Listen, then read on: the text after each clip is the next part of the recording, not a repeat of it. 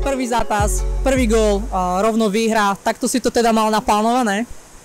Bolo to už pred zápasom dohodnuté.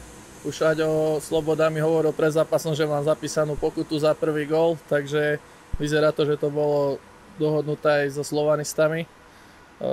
Tá výhra už vyzerá, že nebola až tak dohodnutá, aj keď to na začiatku tak vyzeralo.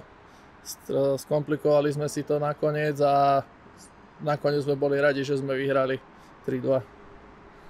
Už týždeň žiješ s vlkmi, ako sa ti teda s nimi spolu nažíva? Tak uh, cítim sa tu veľmi dobre, mám tu prakticky veľa kamarátov, aj chalanov z kabíny poznám, či už som s nimi hrával alebo proti ním.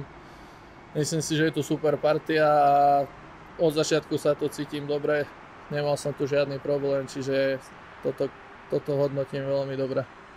Tento týždeň opäť cestujeme von na zápasy v Žiari nad Hronom a v Brezne. Čo od týchto stretnutí očakávaš? Tak sú to minuloroční nováčikovia, ale myslím si, že obidva týmy sa zlepšili. Myslím si, že hlavne ten Žiar hrá teraz veľmi dobre, čo ich sledujem. Tak bude, budú to ťažké zápasy, ideme von, budú určite veľa korčulovať, budú sa snažiť byť nepríjemní, na nás sa každý dobre pripraví tak ako som sa pripravoval aj ja s Topolčanmi minulé roky, takže nebude to nič jednoduché. Každý zápas už je ťažký, není tu žiadny ľahký super, čiže budeme musieť dať do toho všetko, ako vždy.